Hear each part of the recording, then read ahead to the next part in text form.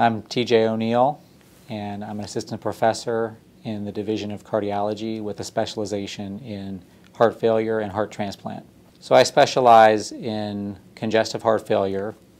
which is a condition either where the heart isn't able to pump enough blood to the body or where fluid accumulates, leading to symptoms um, from the weak heart. And so that can involve something like lifestyle modifications and prescribing medication, but in severe cases can, up, can go up to the point of you know, recommending a mechanical heart pump or heart transplant, and then you know, I'll continue to take care of the patients after that time. So I think the biggest thing that's that's different about here is just the willingness to you know embrace innovation and to to bring in the therapies that are really on the cutting edge,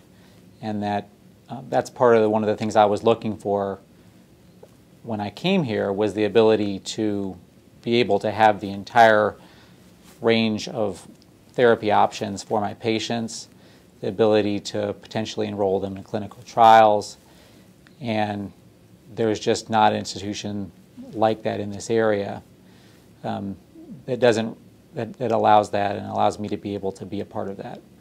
Um, and of course, with the great research that we have going on here, that